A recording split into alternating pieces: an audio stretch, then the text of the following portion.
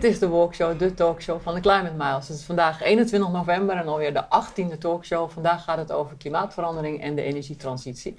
Wij hebben allemaal 28 kilometer gelopen. En Jaap loopt al bijna vanaf het begin mee. Dus dat is eigenlijk wel onze diehard. Ging het vandaag? Ja, prima. Viel me heel erg mee. En je bent ook al 30 jaar bezig met windenergie, hè? 40 jaar? Mm, ik denk 40. 40, nou, daar gaan we het zo over hebben. Maar we gaan eerst even kijken hoe de dag van vandaag is. Want we hebben hier geen weerbericht, maar een sfeerbericht. Dus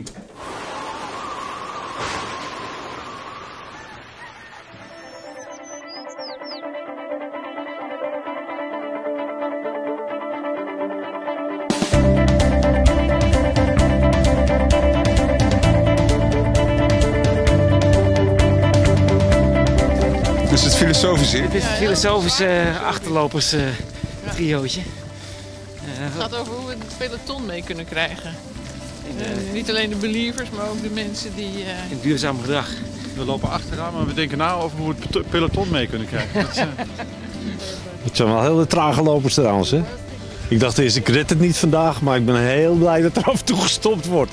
Is het een, is het een hele andere sfeer in, eh, als je dat vergelijkt met inderdaad die eerste etappe? Hoe voelt het anders? eh? Nou, je voelt wel dat er natuurlijk een soort eh, teamgeest is ontstaan. Ik, ik loop pas één dag mee, maar ik heb al hele diepe gevoelens, moet ik eerlijk zeggen. Van warmte en vriendschap. Een vriend van me, Chris Westra, die ken ik al eh, heel lang. Sinds 1973 ongeveer. En die zag ik vanmorgen ineens zag ik zijn vrouw. Ik dacht, hé, hey, Chris is er ook bij.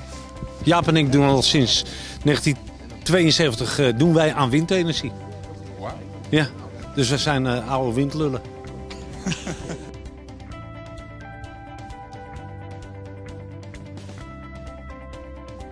Het kan wel. Hè? Een hoop mensen beginnen bij duurzaamheid altijd over, ja maar dat kan niet. En ik zeg, het kan wel, klimaatneutraal en meer welvaart wereldwijd. Wat staat ons nog in de weg, Jan? Alleen nog maar doen.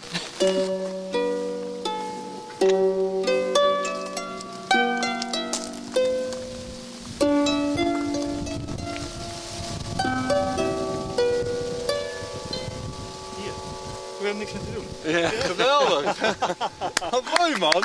Super. Ja, vandaag hebben we een hele muzikale walkshow, dat gaan we zo meteen nog zien. Maar even met jou beginnen, Pier. Het gaat onder andere over klimaatverandering. En je hoort natuurlijk nu veel mensen alleen maar praten over...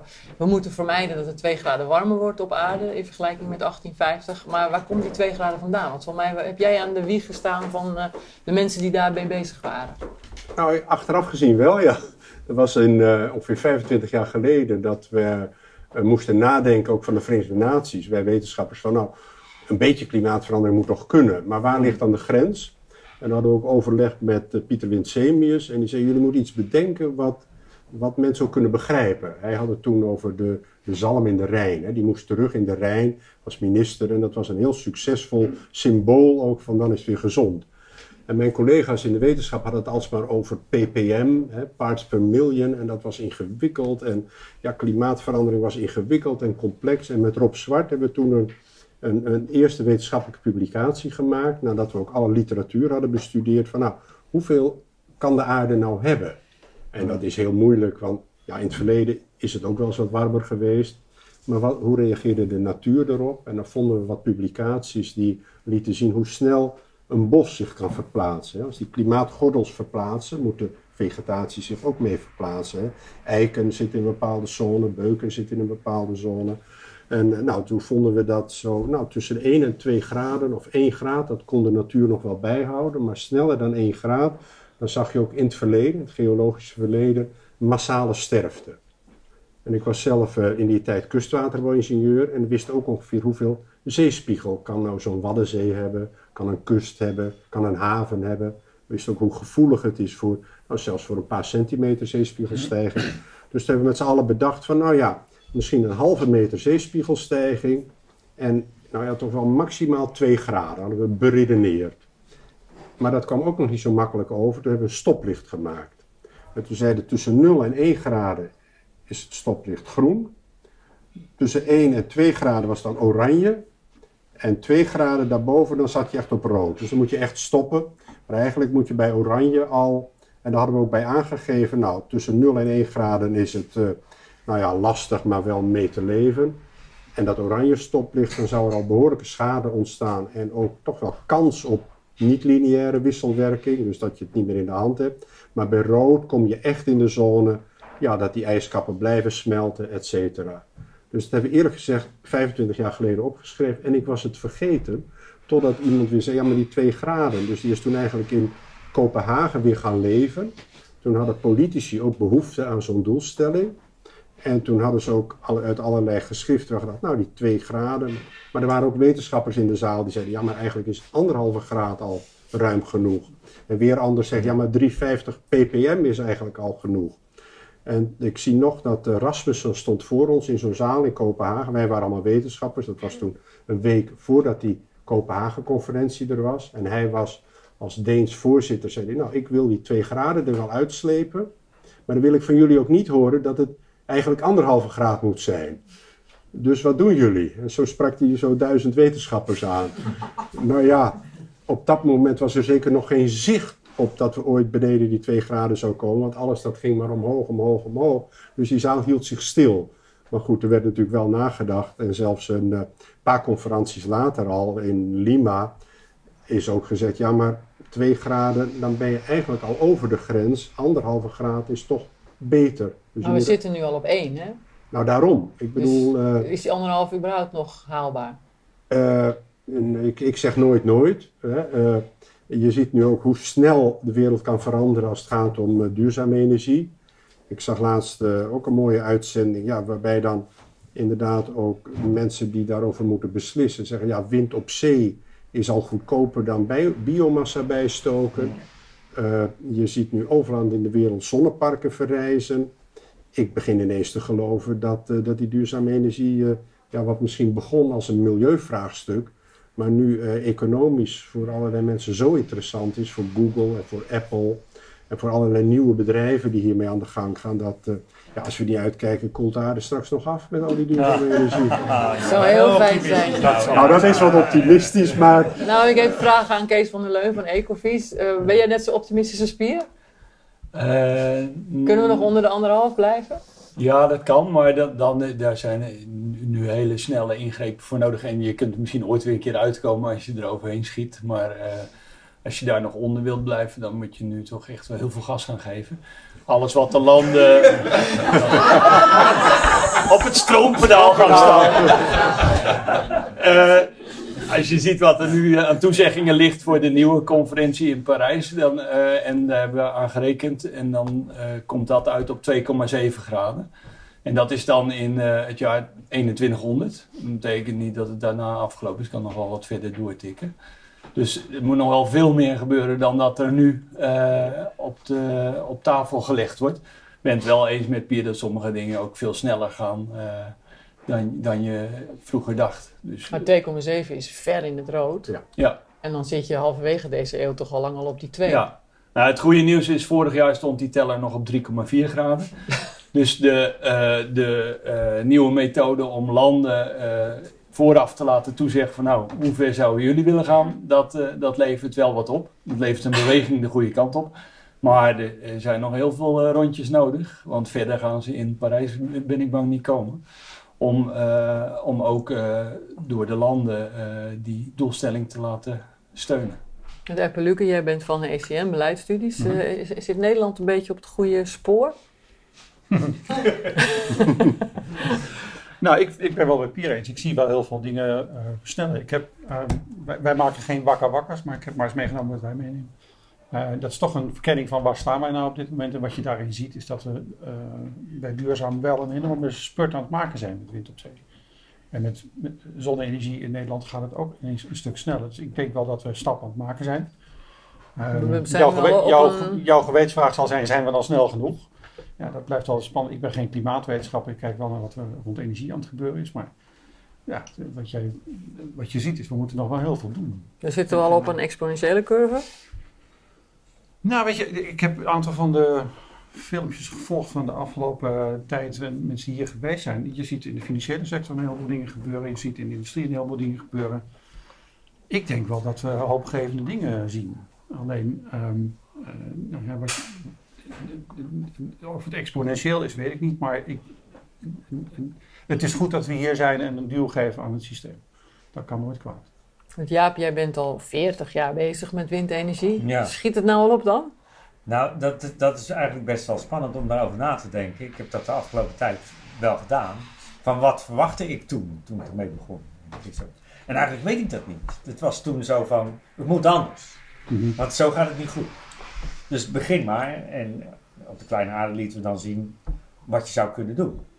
En daarna met Ode en Stichting Energie Anders en, en met Novem. Het waren allemaal echt concrete dingen waar je aan kon werken. Ik ben een beetje van concrete dingen waar je aan kan werken. Ik heb het niet zo met al die scenario's. En als het maar de goede kant op gaat. En ik was... Ja, maar dat is niet genoeg, hè? Als we gewoon binnen 15 jaar eh, fossiel eruit willen gooien, dan is er niet genoeg van als we maar de goede kant op gaan. Dat moet gewoon heel snel. Gaan Ja, we dat, gaat dat lukken? Eh, ik, ik was van de week op de eh, windconferentie in Parijs. Eh, waar, waar, waar iets Ja, je was gedeserteerd van onze wandelingen. Ja, dat wel. ja.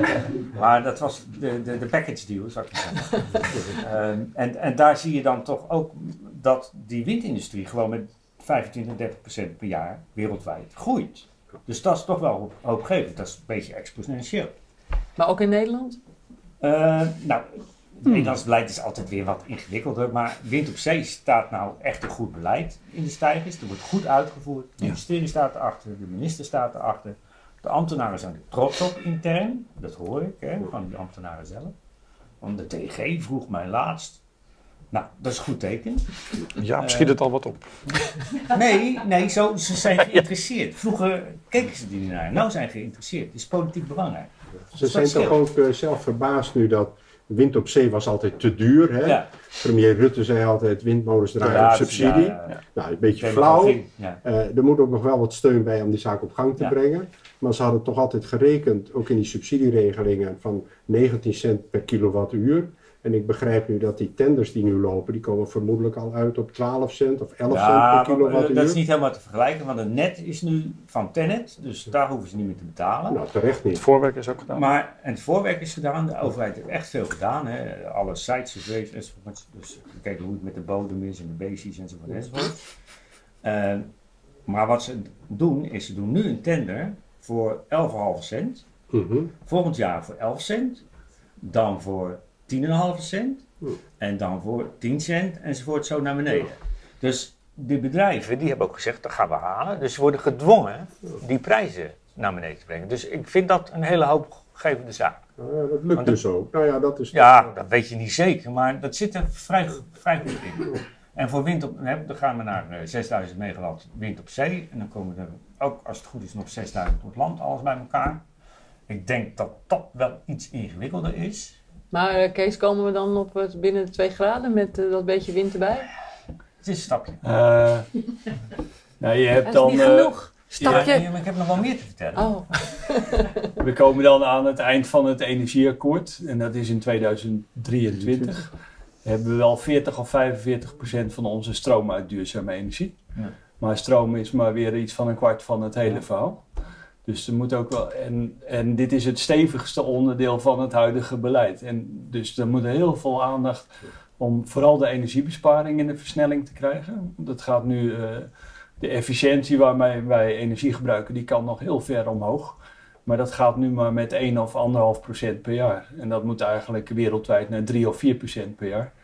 Zodat je eindelijk eens af bent van die eh, voortdurende stijging van de wereldenergievraag. En je gewoon kunt concentreren op het invullen van die stabiele vraag met, eh, met duurzame energie. Want anders blijf je maar achter een bewegend doel aanlopen.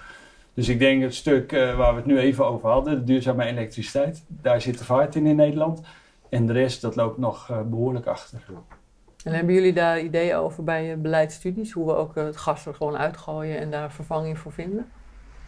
Nou, je ziet dat we steeds meer zoeken naar elektrische oplossingen. Eh, ik denk dat, wat Kees ook zegt, alles wat je kan doen om energie te besparen in de gebouwde omgeving of in de industrie is, is welkom. Alles wat je niet gebruikt is altijd goed. Ehm, dus, en da- daar is nog best heel veel te halen. Maar op hier eh 2 graden moeten we toch in 2030 klaar zijn met alle fossielen? Nou ja, ik heb nu stille hoop dat in ieder geval Parijs een, een kantelpunt is van die, voor die hele discussie.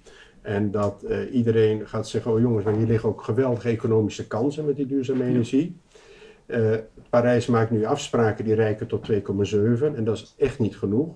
Dus ze moeten zeker binnen vijf jaar weer bij elkaar komen in het jaar 2020 om dan af te spreken dat ze daar allemaal nog een flinke stap bovenop doen. En technisch-economisch kan dat ook. Eh, zodat je dan in ieder geval in 2030 eh, eh, eh, nog weer verdergaande doelstellingen hebt. En uiteindelijk, eh, nou ja, vind ik het niet onmogelijk om ook beneden die 2 te komen. Dan nog ben je te laat en krijg je nog steeds vrij veel schade. Maar in mijn visie kun je met als je beneden die 2 kunt toch een soort wereldcatastrofe voorkomen.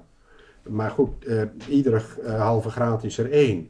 En waar ik me eigenlijk net zo hard zorgen om maak, hè, met duurzame energie kom je wel flink op gang. Maar met de hele landbouw en de voeding, daar zit ook nog 30% van de broeikasgassen. Dus dat we ook daar nog veel meer mee aan de gang moeten. En waar ik me voor schaam, is dat, dat ons eigen land ja, zo ver achterblijft op dit dossier. Dat is nog echt zo. Twintig jaar geleden had Nederland een heel eh, vooruitstrevend energiebeleid. Dat, dat moet Apple kunnen beamen, denk ik. Eh, jij zat toen ook al in Ja, die toen wereld. er. Toen kwamen ze wereldwijd kijken naar Nederland, hoe wij dat deden. Ook met de industrie samen, met convenanten. En eh, ook al met flink met te kijken wat je met duurzame energie moet doen. En twintig jaar lang is er in Nederland eigenlijk niks gebeurd. En dat is het meest schandalige. Het is mij in ieder geval duidelijk geworden. Wij, wij zijn ongeveer net zo'n land als Saudi-Arabië. Eh, eh, ja, we zijn een OPEC-land. Zonder dat we ons nou bij OPEC aansluiten. Maar we hebben natuurlijk die gasbel, die moest zo snel mogelijk leeg. Want daar konden we nog wat aan verdienen kennelijk. We hebben een van de grootste olie-multinationals. Die ook diep verweven is in onze hele politieke en buitenlandse zaken en ambassadesbestel. En die gewoon, ja, leeft van fossiele brandstoffen. En je ziet ook dat allerlei oud-politici zijn dan weer commissaris bij die grote oliebedrijven, zoals Shell. Dus ja, we zijn typisch een olieland. En, eh, en, en een gasland en een energieland. En eh, eigenlijk net zoals Polen, eh, ja, die wil ook niet. En wij zeggen wel dat we willen, hè, dat is wel een bon ton. Ik geloof ook dat onze premier zegt, ja, we moeten naar een duurzame samenleving. Maar als het puntje bij het paaltje komt, dan krijgen grootverbruikers krijgen de elektriciteit en het gas voor veel goedkoper dan jij en ik. Dus naarmate je meer gebruikt in Nederland, industrie, betaal je minder. Ja, ja, geen wonder dat het dan die CO2 blijft stijgen. Geen wonder dat dan die Duitsers kolencentrales willen bouwen in Delfzijl en Rotterdam. Dus eh, ja, onze politiek is eigenlijk pro-fossiel. En onze burgers denken dat we iets willen doen aan duurzaamheid. Dus dat, ja, dat, ik snap het niet. Dat botst nogal. Nou, we gaan eens even kijken wat eh, alle mensen die hier meelopen ervan vonden. Want we hebben ook nog een poppenkast volgens mij. Met eh, reacties van de meelopers op dit onderwerp.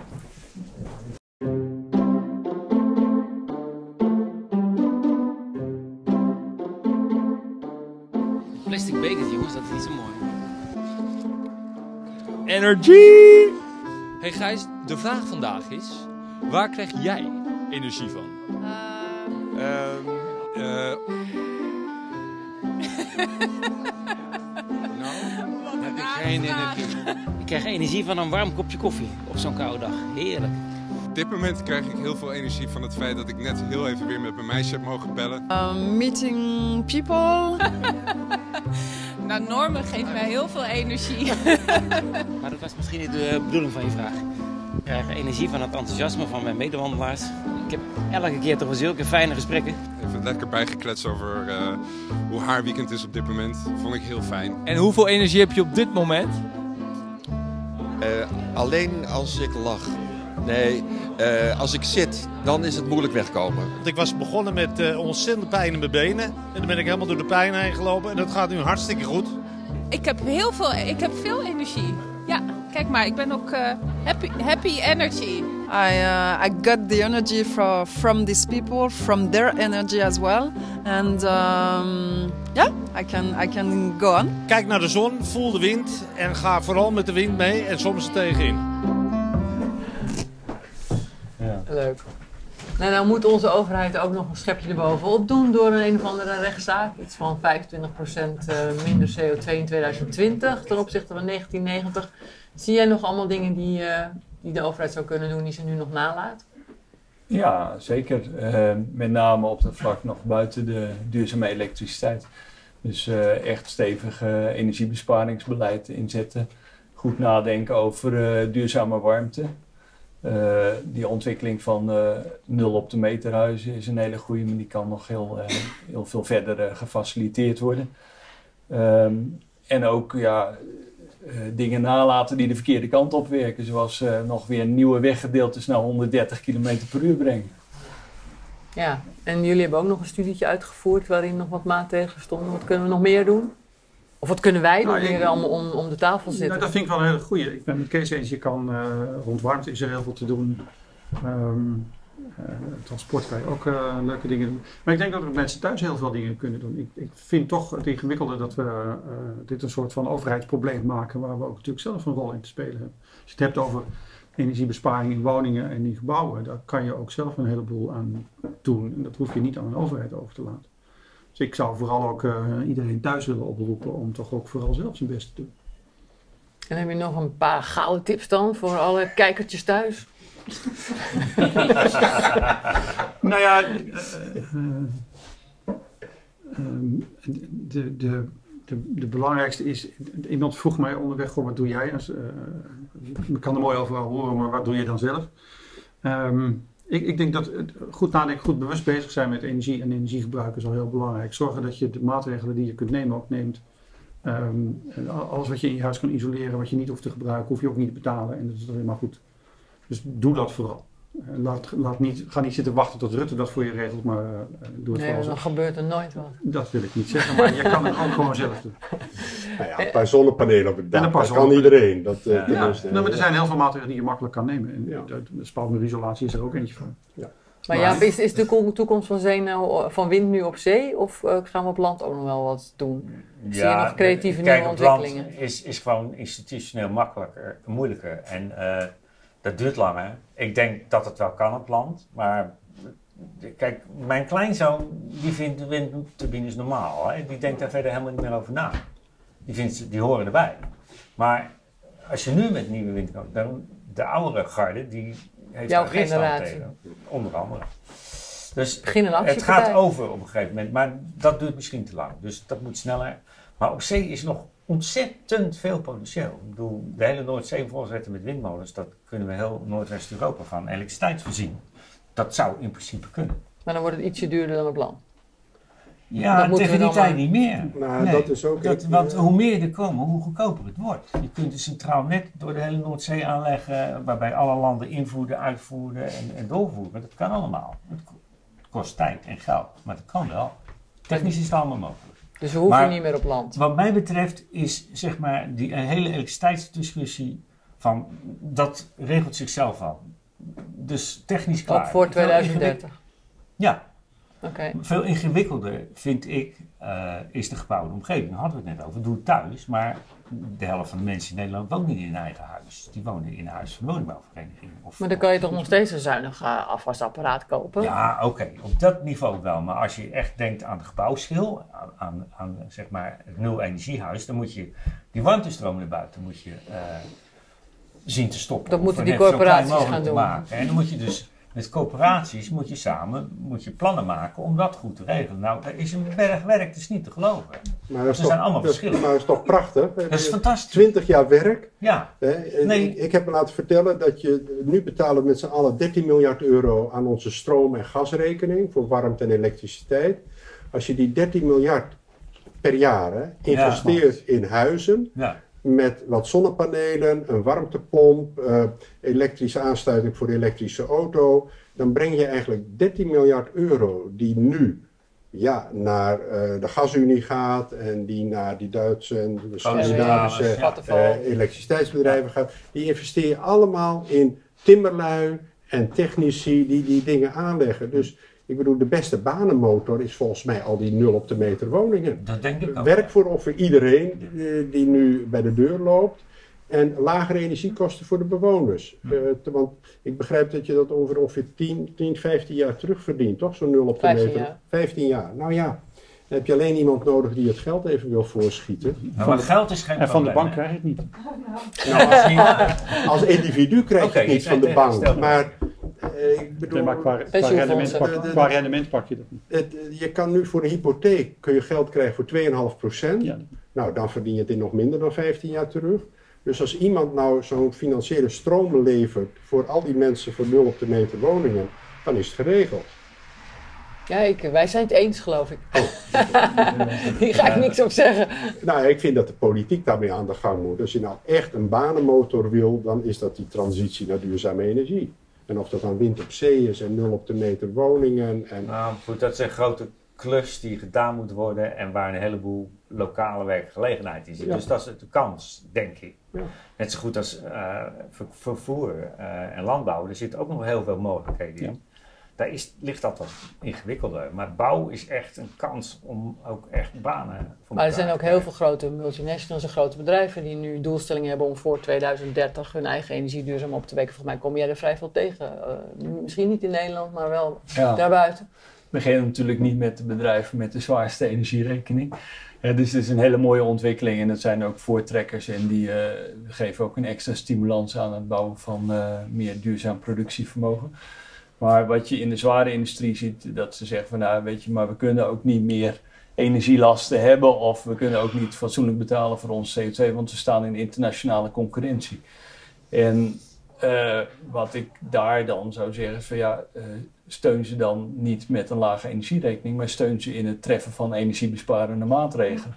Als je je industrie nou eh, wilt helpen en niet wilt laten verdwijnen, dan, dan is het heel een slecht idee om dat te doen door eh, de, de energierekening eh, laag te houden en ze niet te laten betalen voor klimaatschade. Dat kan precies andersom door die steun te verleggen naar steun voor energiebesparende maatregelen. Ja. En dan bereik je hetzelfde, een lagere energierekening, maar wel Mhm. met, eh, met grote voordelen ook weer voor de werkgelegenheid, maar eh, voor het klimaat en voor de, voor, ook voor de hoeveel geld Nederland aan het buitenland moet betalen. Want dat is steeds vaker het geval, zelfs met gas gaan we die kant op, om eh, fossiele energie te importeren. Ja, en daar ligt wel een hele grote sleutel. Als je al die bedrijven meekrijgt, dan maak je wel meteen Ja. een hele grote stap. Ja. En eh, daar spreken we ook wel over met grote bedrijven. En daar is ook best steun voor dat idee. Alleen het is een beetje eng. Eh, tot nu toe is eh, hun idee geweest van nou, we proberen gewoon eh, te voorkomen dat wij meer moeten betalen voor energie en CO2. En het is even omdenken van als je, als je dat kunt vertalen. Van nou, we proberen te voorkomen dat onze rekeningen te hoog oplopen, maar we doen het op een andere manier. Nou, dat deel ik wel met je. We, we, we praten ook met die bedrijven. En wat je merkt is als je daar op een constructieve manier me- met, met bedrijven over in gesprek gaat, als je het ook ziet in termen van wat is je concurrentieplek over vijf of tien jaar in de wereld, dan moet je wel wat. En dat snappen ze ook. Dus ik ben daar ook niet zo zenuwachtig over. Het is wel ingewikkeld, want je zit in een economisch, economisch model waarin je al je kosten op een korte termijn terug moet verdienen. Dus het is best even knutselen om dat goed te krijgen. Maar ik krijg wel heel veel positieve respons vanuit de industrie om daar wel mee aan de gang te gaan. Maar gaat het wel snel genoeg? Want dat het ooit gebeurt, dat zie ik ook wel komen. Maar gaan we de omslag maken binnen nu en 15 jaar? Ja, en dan zeg je snel genoeg in termen van zeg maar, wat, wat het klimaat nog kan dragen. Nou ja, dat, ja, liefst onder die anderhalf blijven en in ieder geval onder de twee. En als ik de wetenschappers volg, dan moet je in 2030 af zijn van fossiel. Ja. EPO kan de staat daar nou wat aan doen. Hè? Die, die, die bedrijven die doen dat dus niet voor zichzelf, terwijl het zelfs ja, de moeite waard zou zijn. Maar kan nou de overheid ook die bedrijven helpen of een beetje pushen eh, om, om veel meer energie-efficiënt te worden? Maar ik denk het wel. En, en, en, ja, de laatste tien jaar is dat nooit gebeurd, want eh, de markt lost het wel op, hè, was het idee. Vroeger hadden we toch ook Novem en die kwam bij die bedrijven binnen en die ging helpen Ja. om dat eh, energiezuiniger te maken. Eh, werkt dat model dan beter of eh, hoe moet je het doen als overheid? Wat zou jij nou aan, aan, aan minister Kamp zeggen om, om, om die energie, om die Tata Steel en die chemische bedrijven in Rotterdam, om die veel energie-efficiënter te maken? Wat moet je dan doen? Nou, een van de dingen die je kunt, eh, kunt bedenken is. Het, het eh, kapitaal is vaak schaars in die grote bedrijven. Klinkt gek, het zijn hele grote bedrijven, maar ze, hebben ook, ze moeten ook investeren in nieuwe productielijnen, et cetera. Dus ze hanteren vaak vrij strenge criteria voor eh, energiebesparende investeringen. Willen ze toch een korte terugverdientijd op. Nou, dat kun je erg vinden en tegen prediken, maar dat gaat niet heel veel veranderen. Ik denk dat daar wel een rol voor, eh, voor de overheid ligt. Want daar, eh, Wat bedoel je dan Ja. als geldverschaffer? Of? Nou ja, precies. De- eh, er is geld zat, maar niet dan even binnen die industrie. Dus er moet geld van buiten in geïnvesteerd worden. Dat is ook aantrekkelijk, want het verdient zich namelijk snel terug. Er zijn gewoon eh, mogelijkheden om eh, met een terugverdientijd van een paar jaar, die nu niet gebeuren. Maar wat wil je dan dat die overheid doet? Garant gaat staan? Eh, of kredietgarantie geven. En dat doen we voor allerlei dingen, voor exporteren naar eh, eh, eh, dus landen waar een risico op zit. En het leuke is, deze maatregelen, eh, maatregelen zijn zo rendabel dat er ook gewoon betaald kan worden voor die garantie. Dat hoeft geen eh, eh, gift te zijn.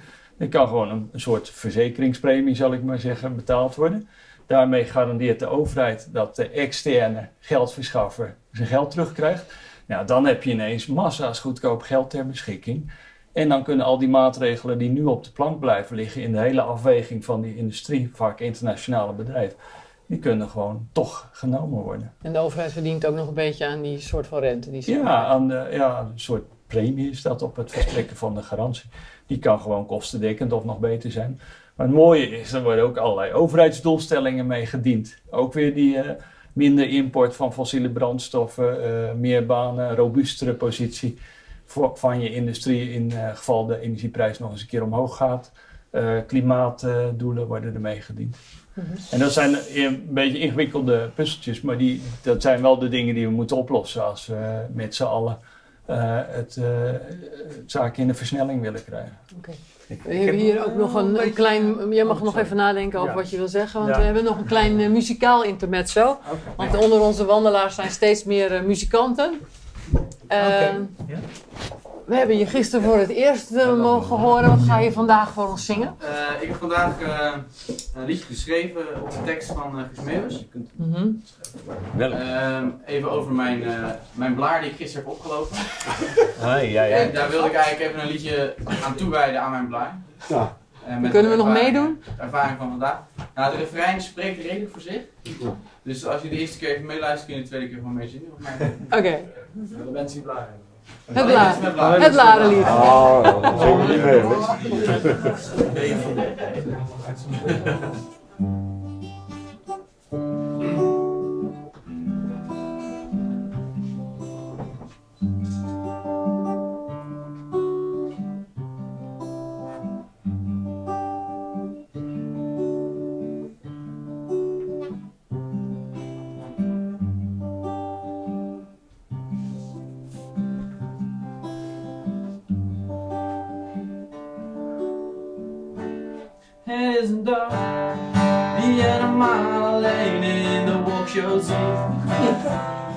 Het is een dag die wordt bezongen in het mooiste lied.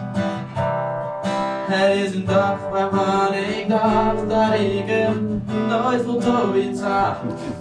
Maar vandaag voltooi ik hem met jou.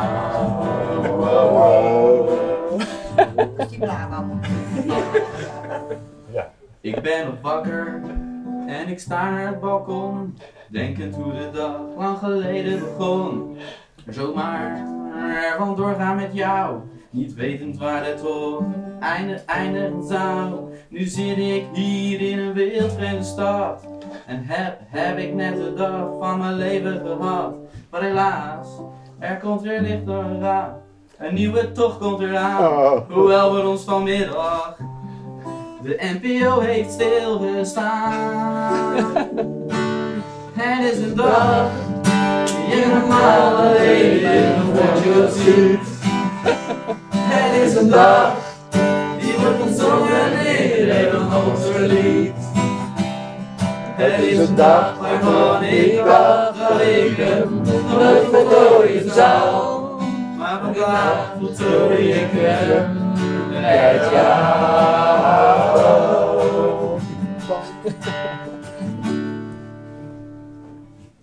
Fabian heeft me vandaag gered.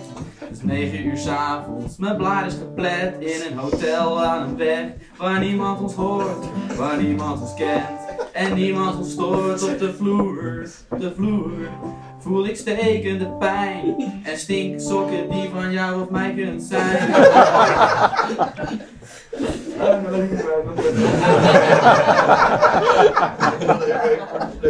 Een schemering. Marjan die niet wacht, maar deze dag heeft alles. Gebracht. Wat kan een dag verwacht? Het is een dag die je normaal alleen in een honkshow ziet. Het is een dag die wordt gezongen in een Amstellied. Het is een dag waarvan ik dacht dat ik hem nooit voltooien zou. Maar vandaag voltooi ik hem met jou.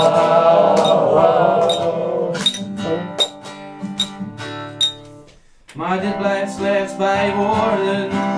De film is in scène gezet. De film is in scène gezet. Met deze blaar. Nee, dat moet wel. Van de- blijft slechts bij woorden. De film is in scène gezet. En deze blaar bij mij is levensecht. Het is een dag die je normaal alleen in de walkshow ziet. Het is een dag die wordt gezongen in het lied. Het is een dag waarvan ik dacht dat ik hem nooit voltooien zou. Maar vandaag voltooi ik hem met jou. Vandaag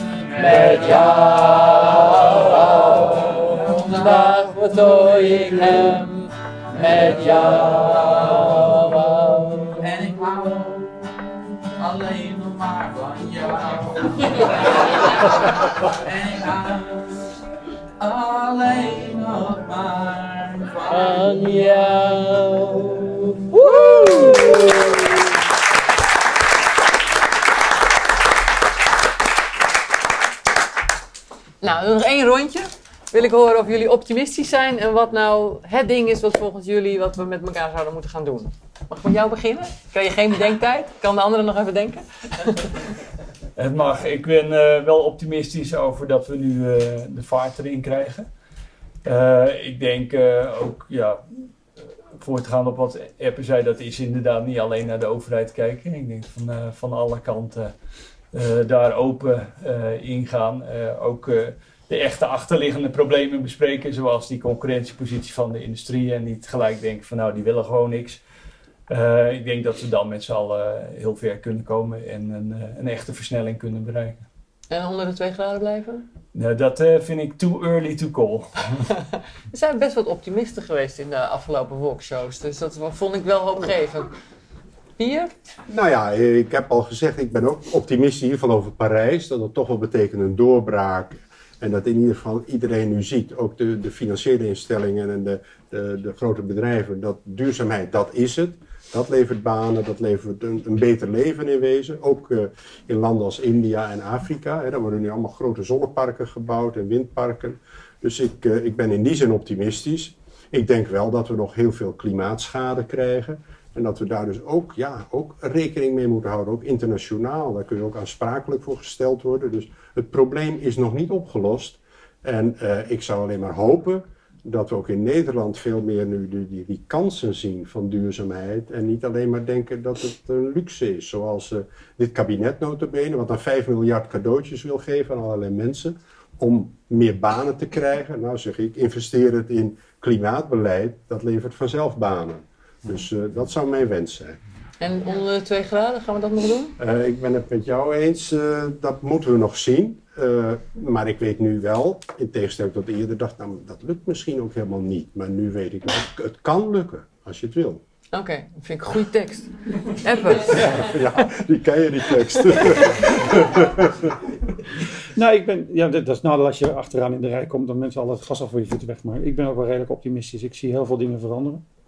Heel fijn om te merken dat ook zeg maar, bedrijven de slag maken naar duurzaamheid. Wat Pia ook zegt, ik- duurzaamheid is niet meer een, een straf, maar is gewoon een kans. En is iets waar je met z'n allen ook aan eh, van kan profiteren, laat ik maar even zo zeggen. Ehm, wat daarvoor wel nodig is, is dat je, dat je de handen in, elkaar slaat. Ik merk dat wij zitten hier bij elkaar met het gevoel van we weten wat we willen en we gaan ervoor. Eh, ik vind het af en toe wel jammer om te merken dat als je eh, eh, eh, in, in, in, in de straat of in, in de wijk of waar dan ook ziet, dat, dat dat nog niet iets is wat helemaal doorgedrongen is tot iedereen. En waar iedereen ook volop mee bezig is. Heb je je En buren al mee? Ik, eh, ik doe mijn uiterste best. Ik, eh, ik geef het goede voorbeeld en ik trek aan iedereen. En eh, doe dat ook vooral allemaal, zou ik zeggen. Want het is nog, het is nog wel een hoop te doen. Maar het, ik ben met jou eens. Waarom zou je het niet doen? Het kan gewoon. En twee graden? Sluit je je aan bij de heren? Zal ik, nog- zal ik dat nog maar doen? Ehm, ik, ik, ik, oh, van tevoren.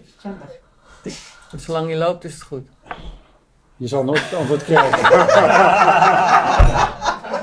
Dan ga ik ondertussen even door met Jaap. Final, final, eh, Oh, daar komt hij al. Ja. Goed hè, zo'n walkshow. Ja, mooi. Jij, eh, die is ook nog te vroeg om te zeggen. Jaap, durf jij het al te zeggen? Gaan we het halen onder die twee graden?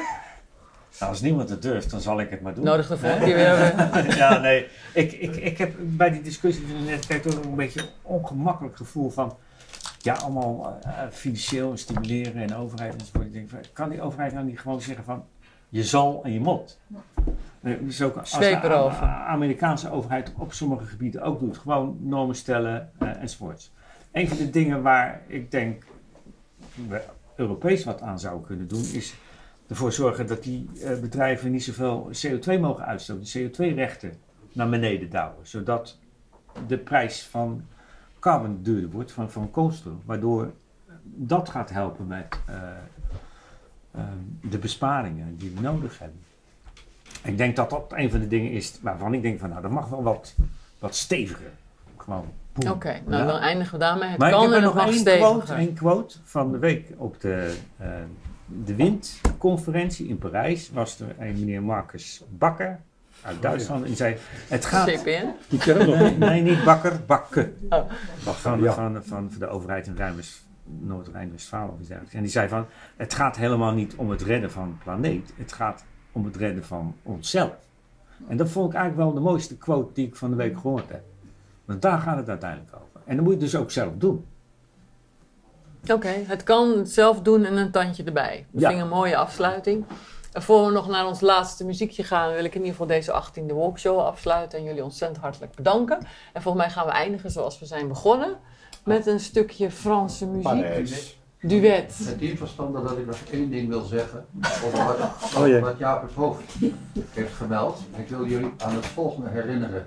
Je zou het nu niet zeggen, maar in 1972 had Jaap haar wat op zijn middel. dat is niet waar, dat was Jip. Dat was Jip. Ja, Jip Wenstra, ja. Maar had wel meer haar. Op de kleine aarde. En daar gebeurde iets wat iedereen zich goed voor de geest moet halen. En dat is verbeeldingskracht. Ja. Want wat deden we? We bonden een touw bovenin een boom.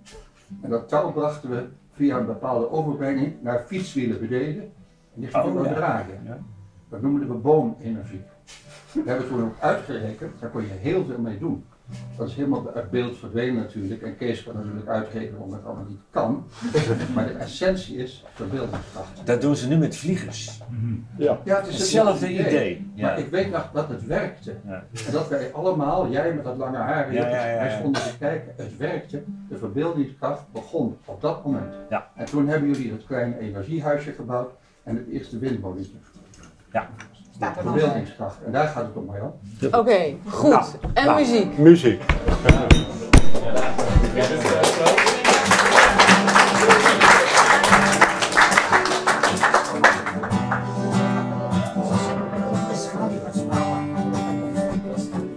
Er is een dag die je normaal alleen in de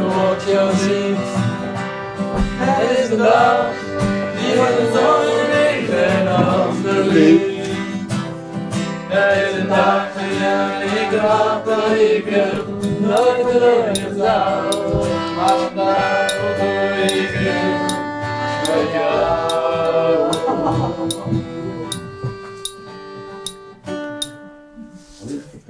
Nog eens. Het is een dag. Wacht maar eens over. In de walkshow ziet. Het is een dag. Die wordt bezongen in de achterlied. Het is een dag waarvan ik dacht dat ik hem nooit meer nooit zou. Maar vandaag doe ik hem met jou. Vandaag doe ik hem met jou. En ik hou niet alleen. maar van jou. Kijk, de blik is mooi, hè?